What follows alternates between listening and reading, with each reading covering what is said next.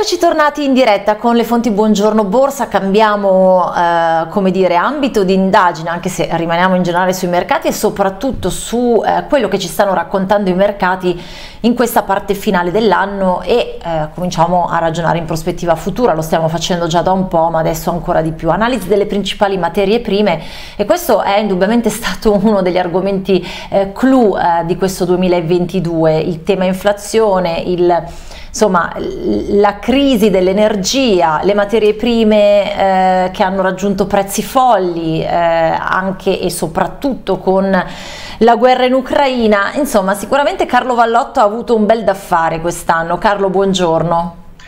Buongiorno a te Emanuela, sì effettivamente c'è stato un gran bel da fare quest'anno perché eh, come hai anticipato tu giustamente insomma, il mercato delle materie prime è un po' stato sotto pressione, abbiamo visto insomma, i prezzi del gas, il prezzo del petrolio, i prezzi del, del, settore alimentare, insomma un po' tutto, tutto l'intero comparto ha visto delle, eh, insomma, delle, dei movimenti abbastanza importanti, insomma, eh, proprio per citarne uno in brevissimo tempo, insomma, abbiamo visto una volatilità proprio del petrolio che è cambiata, è raddoppiata, triplicata rispetto a quello che poteva essere più di un anno e mezzo fa, insomma ecco, tante le situazioni e, e in ultimo insomma anche questi, eh, questo, questo, gas che ci fa sempre, esatto. eh, ci tiene sempre belli caldi diciamo così. Allora tu hai nominato proprio la parola volatilità, il mercato ha momenti di volatilità più o meno eh, spiccati, ma insomma quest'anno eh, sicuramente lo, lo, abbiamo già detto ma lo ripetiamo, il comparto delle commodities è stato particolarmente interessato. Ehm, giusto per ripercorrere un po' quello che è accaduto, poi naturalmente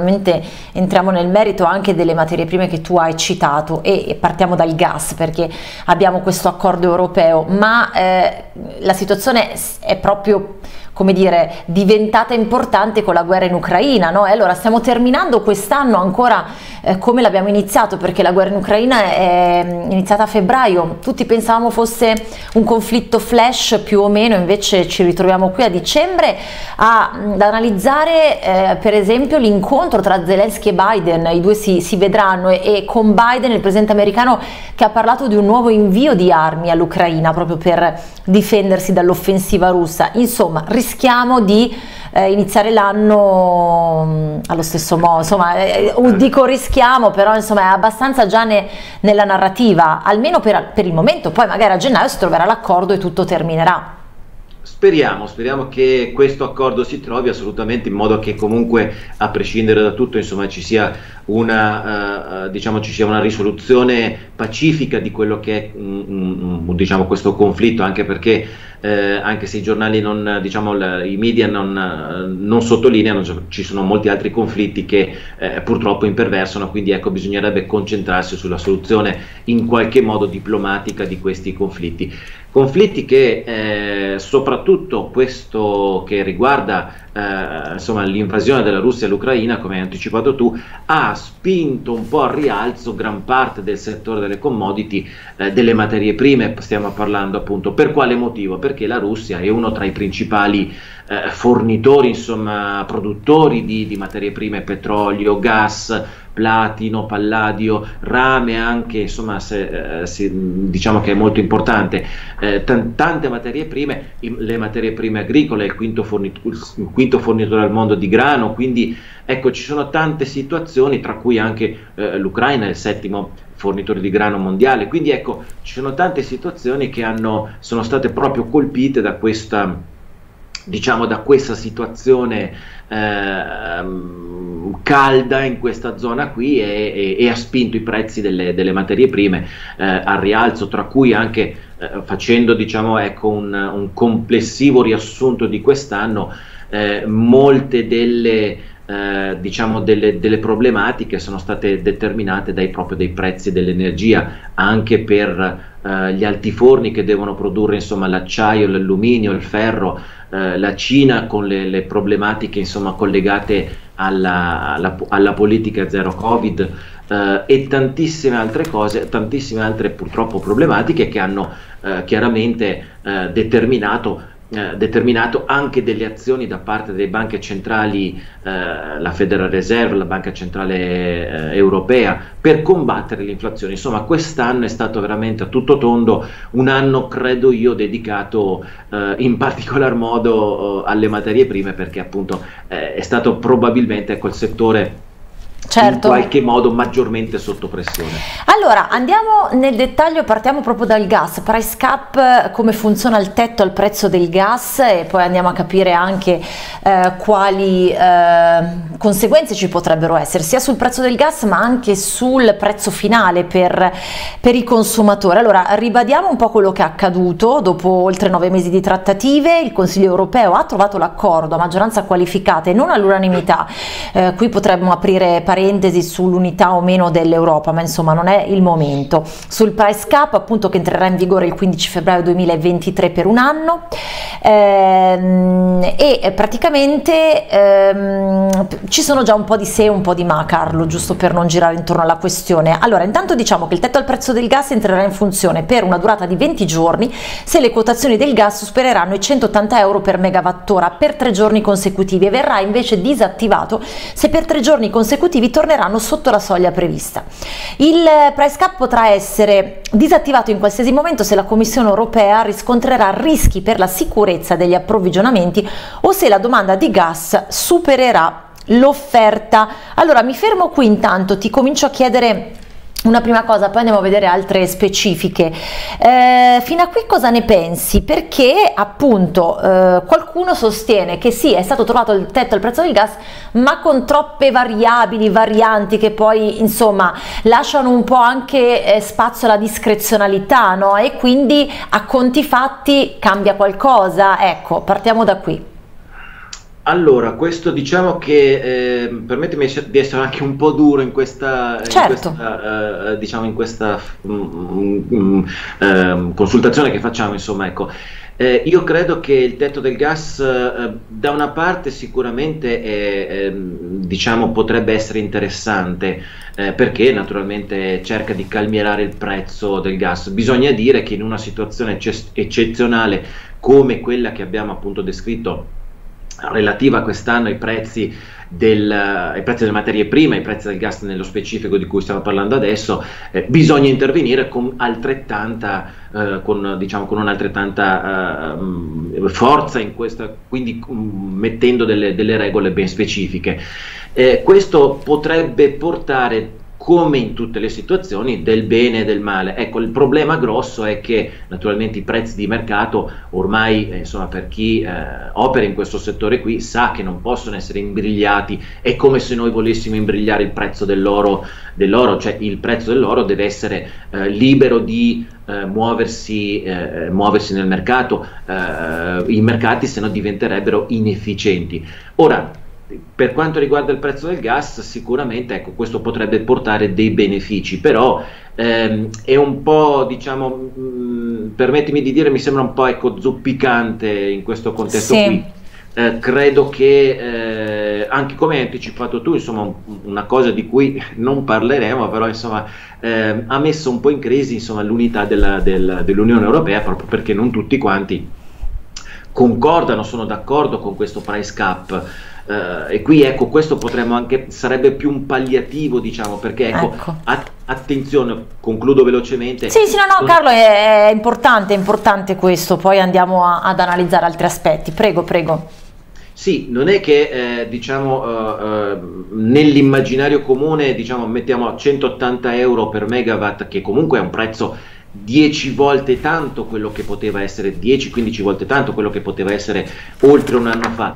Tra le altre cose bisogna anche sottolineare per onestà di, eh, diciamo, di narrativa che il prezzo del gas co- ha cominciato a salire prima della guerra del, dell'Ucraina, quindi dell'invasione insomma, della Russia all'Ucraina. Quindi ecco, diciamo che io, io vorrei sottolineare il fatto e vorrei mettere anche sottolineare con l'evidenziatore che probabilmente è, è stata uh, la normativa Uh, è stato un, un, un cambiamento del, della normativa, della prezzatura dei, del, diciamo, dei, contratti del gas che hanno privilegiato e privilegiano una, eh, diciamo una sottoscrizione di, di, contratti più a breve termine rispetto a, bre- a mh, quelli a lungo uh-huh. termine. Questo ha portato i prezzi a crescere ancora prima della guerra dell'Ucraina. Quindi ecco, io piuttosto che il prezzo del gas, il tetto del prezzo del gas andrei a rivedere la, la formazione eh, alla borsa uh, di Amsterdam, insomma, alla borsa Ok, no, no, no, questo è chiaro, infatti anche perché mh, mm, tu hai confermato un po' le perplessità rispetto a questo accordo, anche se poi si dice eh, forse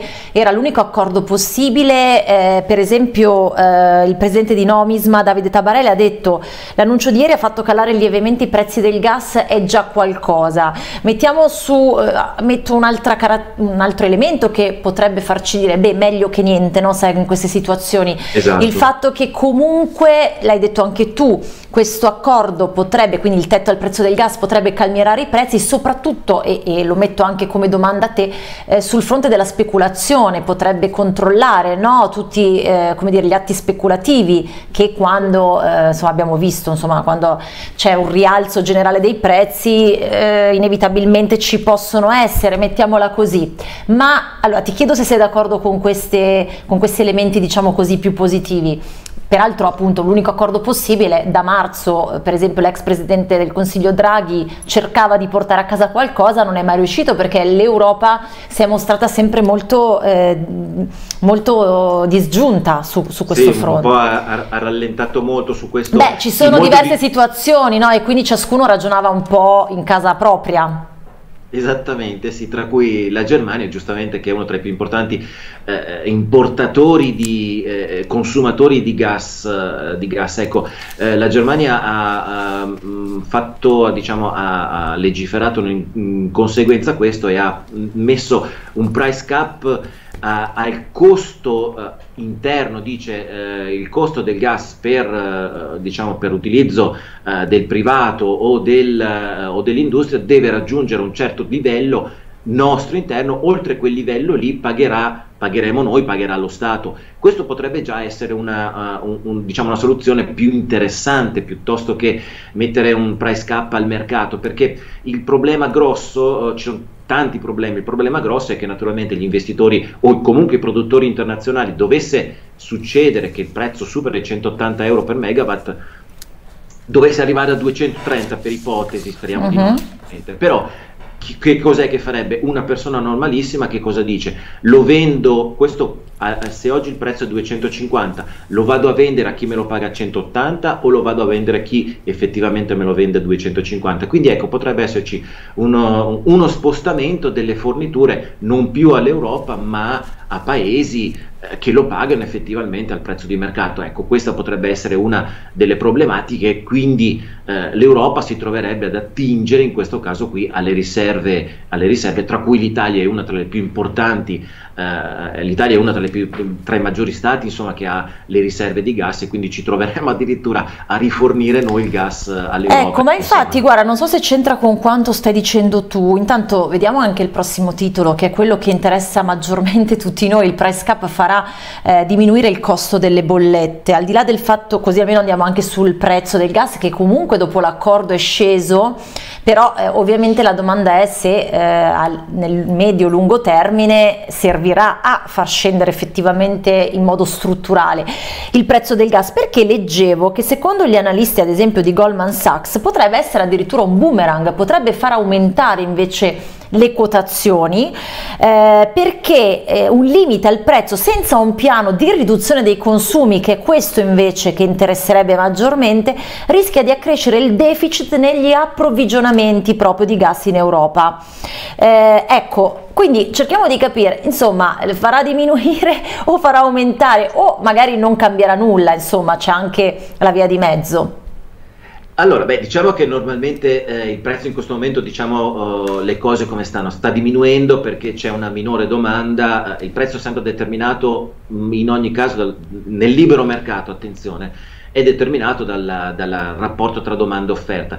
Le, il clima sembrerebbe essere leggermente più mite rispetto a quello che poteva essere la scorsa settimana, quindi ecco i prezzi tendono a calmierarsi un pochino. Poi in questo periodo qua, ecco diciamo che eh, eh grossolanamente, normalmente insomma ciclicamente il prezzo del gas tende leggermente a diminuire e questo è un fattore. Quanto dice Goldman Sachs è da sottolineare eh, a caratteri cubitali perché giustamente insomma ecco bisogna eh, un, mm, allora, si sta cercando in tutti i modi di eh, eh, controllare la domanda. Se la domanda non si può controllare con delle eh, legislazioni, come è stato fatto in Italia, insomma, abbassamento delle temperature, eh, mm, diciamo un, un po' la, eh, la, diminuzione dei periodi di riscaldamento e quant'altro, la si può controllare solamente con un prezzo alto, ovvero come si fa? Cioè, se c'è una bolletta o un rischio di avere una bolletta eccessivamente elevata, naturalmente tutti noi cosa facciamo? Cerchiamo di eh, rallentare, di diminuire, insomma, di, eh, prendiamo l'esempio, fa, fammi fare questo semplicissimo sì. esempio. Eh, eh, eh, il prezzo della benzina è molto elevato, come facciamo per eh, non, non utilizziamo la macchina, anziché andare a fare il weekend fuori, rimaniamo rimaniamo uh, nel, nel, nostro circondario, quindi uh, non utilizziamo la macchina. Quindi ecco, una demolizione della domanda è quello che dice Goldman Sachs per calmierare i prezzi perché è l'unico o uno dei modi più efficaci per diminuire il costo del gas e quindi diminuire il costo delle bollette insomma ok ok ok eh, quindi insomma diciamo che mm, è sempre meglio che niente Carlo ma eh, gli effetti saranno anche come dire, eh, da vedere da, da, da, rispetto a ciò che accadrà nel panorama generale, insomma, no? Quella è la cosa fondamentale, almeno giusto per semplificare sì, molto la questione. Esattamente, sì. molto semplificata, naturalmente certo. vorrebbe, bisognerebbe appunto approfondirla nel, nello specifico, ci vorrebbe molto tempo e quindi ecco diciamo che questa situazione eh, questo price cap può andare bene da una parte, dopo chiaramente come tutte le cose insomma dovrà essere un po' rivisto. Insomma mettiamola così, diciamo che bisogna un attimino ancora fare tutti un po' di sacrificio, si parla di riduzione dei consumi, di piano perché così almeno potremmo stare un po' più tranquilli, un po' più al freddo ma eh, un po' più tranquilli. Allora sì, Carlo, per, sì. scusa velocissimo prego, prego. per concludere anche perché questo eh, dopo bisognerebbe parlare di ambiente, cosa che i G7 hanno certo, fatto qualche settimana certo. fa e quindi ecco una diminuzione dei consumi farà, favorirà anche naturalmente l'ambiente. Assolutamente. Allora Carlo, ultimo titolo, materie prime e investimenti, molto generico perché lascio a te insomma un ultimo giro di considerazioni rispetto alle materie prime eh, che reputi sia interessante valutare, magari anche proprio da un punto di vista di investimento c'è cosa eh, bene guardare in questo momento, eh, insomma lasciamo, facciamo un bella, una bella panoramica. Una bella panoramica la possiamo fare tranquillamente perché ecco questo, il settore delle materie prime è proprio sempre eh, la nostra benamata Goldman Sachs ha indicato tra le tante, insomma, tra le tante banche che, d'affari che eh, emettono i loro report, ma al di là di questo eh, insomma, possiamo dare un'occhiatina a che cosa? Eh, un po' al settore delle materie prime, ovvero eh, ecco, io direi di chiaramente una diversificazione, non una singola materia prima, però eh, per quanto potrebbe essere eh, interessante, insomma, possiamo parlare dell'oro, il nostro, il nostro, oro, il nostro oro fisico, il nostro oro giallo, insomma, il bene prezioso il, uh, per eccellenza. In tema di tassi di interesse, mh, credo che il prossimo anno ci sarà una continuità nella, nell'aumento dei tassi eh, di interesse meno intensa rispetto a quello che è stato fatto. Probabilmente la Federal Reserve si era un po' eh, presa indietro, insomma, all'inizio aveva detto, se, ci ricor- se, non diment- se non ci ricordiamo male, insomma, aveva eh, spesso sottolineato come l'inflazione, come stata, come l'inflazione sarebbe stata transitoria, cosa che non è. E quindi ecco, questo eh, dovrebbe, eh, la, transi- la, transitorietà dell'inflazione non c'è stata e quindi ecco, questo potrebbe ehm, favorire il, la crescita o comunque un investimento di medio-lungo periodo per quanto riguarda, per quanto riguarda l'oro che potremmo diciamo eh, al momento i 1800 dollari è un, è un, po', un livello basso, però se dovesse raggiungere 1900-1950 ecco, potrebbe essere interessante, vuol dire che c'è una uh, ripresa da parte degli investitori finanziari e questo è una materia prima molto interessante. Un'altra materia prima che potrebbe specularmente eh, se l'oro è un bene rifugio, dall'altra parte potremmo vedere un bene, eh, una materia prima come il rame, che è un bene sì. prettamente industriale e legato, come abbiamo detto poco fa, a, anche al, diciamo, a previsioni di eh, miglioramento insomma, della, della, del, del, clima, quindi metallo prettamente anche industriale e utilizzato soprattutto per combattere l'inquinamento, il rame quindi in molti eh, e più volte abbiamo detto come è possibile che ci sia anche un deficit perché le, eh, diciamo, le, le strutture minerarie eh, in questo momento sono un po' in ritardo negli sviluppi e ci vuole molto tempo. E quindi ecco il rame potrebbe essere deputato per, un, uh, per una ripresa, per una ripresa del, delle, Insomma con te Carlo, poi lo faremo nel 2023, ma con te abbiamo sempre, almeno negli ultimi due anni, detto, poi ovviamente non è che tu la, a, a, prevedi anche i cosiddetti cigni neri, no? Quindi quello poi eh, va a, a cambiare il panorama, però abbiamo sempre detto quale poteva essere la eh, materia prima eh, dell'anno.